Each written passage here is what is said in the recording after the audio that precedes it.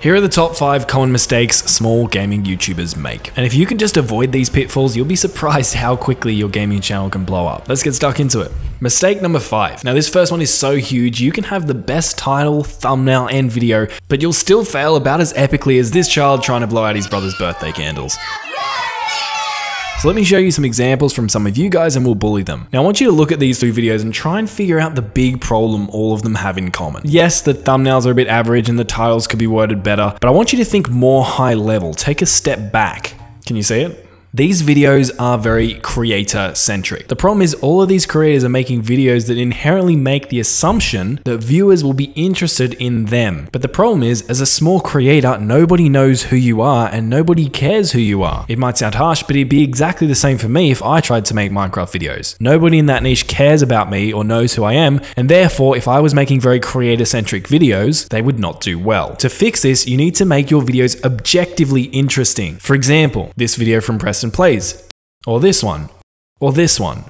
Yes, all these examples have good titles and thumbnails. The videos themselves are probably quite good. And yes, they're from larger creators. But if we take a step back, these video ideas themselves are objectively interesting. It doesn't matter whether you created this video, I created this video, or Preston Plays created this video. As long as the title and thumbnail are good, it'd still retain the majority of its magic because the video idea itself is objectively interesting. The next big mistake small gaming YouTubers make is optimizing their videos for keywords. So here's the thing, YouTube is not not like Google. You can't rank a video number one like you would rank a website on Google. The algorithms don't work that way. The YouTube algorithm takes into account a whole range of things when it's ranking videos. And this is why your search results page for a specific search term could look very different to my search results for that very same search term. On top of that, in my experience, the vast majority of channels that grow very quickly don't even get the majority of their views from keyword optimization and YouTube search. Rather, they get the majority of their views through the algorithm promoting promoting their content in the next up section or on their viewers' homepages. So basing your whole strategy around trying to rank number one on YouTube search, which is what a lot of small creators seem to do, is not always the best approach, unless you've got a strategy where you're specifically sniping certain keywords. And if that's you, that's okay. But for most people, that's not you. Most people are creating their content and then trying to figure out what keywords they can stuff into it to make it rank number one. I say most people here as a generalization to illustrate this point. Maybe it's not most people, but there's definitely a hell of a lot. So what should you do? You should should optimize your videos for humans. Write titles and descriptions that are highly attention grabbing, appealing, and clickable, rather than just stuff full of random keywords that's semi related to your content that get a lot of search volume. Now, is it important to add keywords and metadata? Sure, it can be, but as I talked about previously, for most of you, it's usually not anywhere near as important as you'd think. You can just add some general keywords in your description, maybe one keyword or keyword phrase in your title, and even that's not always necessary. And then just let the algorithm figure out the rest. Even if you're not getting any any views, the algorithm has a ton of AI services that will literally allow it to transcribe your entire video, to break down your video frame by frame and analyze what's in your thumbnail. And so even if you added zero keywords to your video right now, the algorithm would probably have a decent idea of what your video is about. And so while adding keywords to your description or tags might not necessarily hurt the performance of your video, what is hurting you is all that time you're spending meticulously analyzing, researching, and copying and pasting keywords, because for most of you, that time would be better spent coming up with more clickable titles, thumbnails, and video ideas. This next problem is probably one of the most common ones. You're probably sick of hearing YouTube educators preach about how important it is to have a great title and thumbnail and idea so that you get a high click-through rate, or how essential it is that you have engaging video content so you have good audience retention. And it's 100% true that those things are essential, but you might have heard a lot about that stuff before, so I'm not going to reiterate those things in this video. I am, however, going to draw your attention to another related mistake that can cause a serious amount of damage, and that is overestimating the quality of your content. Here's the thing, at GYGC, we're closing in on almost a thousand students, and across all of the channels I've worked on, we've gained over 300 million views. Now, I'm not saying that to brag, I'm saying that to give context to this next thing I want to tell you, which is I'd estimate out of all the people I've worked with, 70 to 80% of them think their content is great. They think their tiles and thumbnails are good. They think their videos are binge worthy. The hard truth is, most of the time they're not. Now, I understand it's unhealthy to constantly find fault in everything you do. I understand it can be demoralizing when you feel like you're just on a treadmill discovering error after mistake after error in your content. But it's also very unhealthy for your channel if you think you have good content when the reality is it's actually not that great. Because the first step to solving any problem is actually acknowledging that problem exists. So if you don't acknowledge that your titles and thumbnails and videos probably not as good as you think they are, you're never going to invest the time, energy, or even money that it might take to really fix those things. This next mistake kills so many videos, it's not funny. And it's intros, or more specifically, terrible intros. See, chances are most of you watching this probably have retention graphs on your videos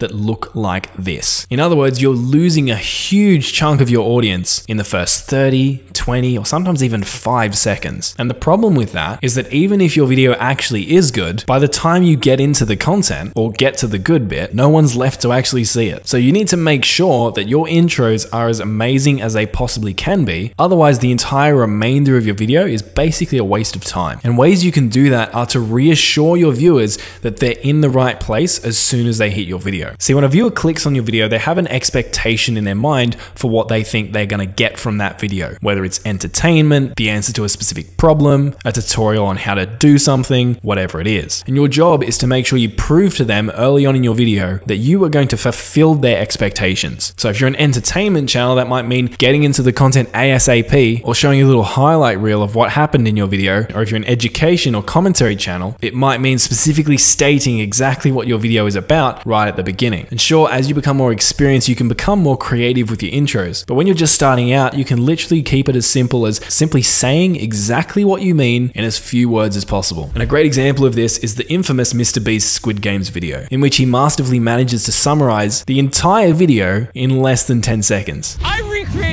every single set from Squid Game in real life, and whichever one of these 456 people survives the longest wins 456 grand. But if you fix all the mistakes that we've talked about in this video, but not the last one I'm about to reveal now, your channel is still practically doomed. So here it is. And I know because I made this mistake so bad when I made my first gaming channel. And it's promoting your videos, or more specifically, promoting your videos in the wrong way. I remember when I was first creating content, it felt like my videos just weren't getting any traction. I'd post new videos and I'd work on the titles and thumbnails and try and make them as good as they could be, and I thought the content was really good. In reality, it wasn't that good, go back to a previous point. But regardless, it was frustrating because it just felt like I wasn't getting the exposure I needed to be discovered. So I turned to promoting on social media. I used to write little snippets or teasers or hooks, accompanied by links to my videos that I could post in social media groups. And after doing hundreds, if not thousands of these, I got pretty good. The problem was the traffic it was bringing in was actually hurting my channel. Now, I never promoted in sub for sub or view for view kind of groups, but I would sometimes promote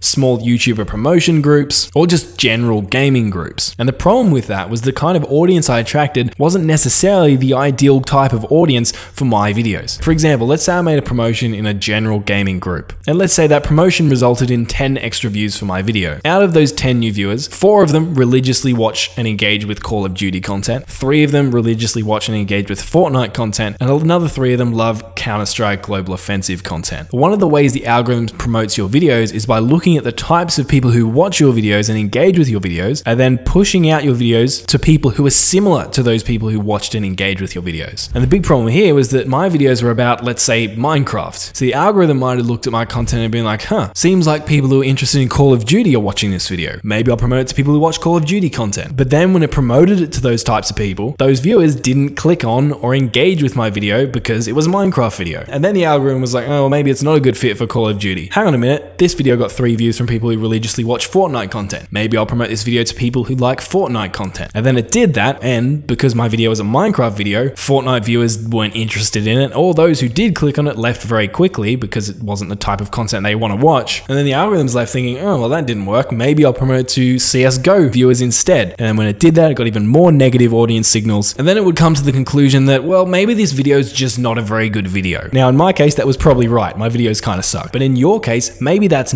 not the correct conclusion. Maybe your videos are good, but they're just not being promoted to the right type of audience. You know, the viewers who will actually click on and highly engage with your videos. And your super general promotions are just confusing the algorithm even more. Now, this is an oversimplified example, but you get the point. If you're promoting your content, you need to make sure the type of people who see your promotions would actually want to click on and watch your video all the way to the end if it was served to them organically on their YouTube homepage or in their next up recommended bar. If you don't know where to find places to promote your content, well, you need to click on this video because I'm going to reveal a whopping 21 different ways to promote your gaming videos completely for free. Click it now and I'll see you there.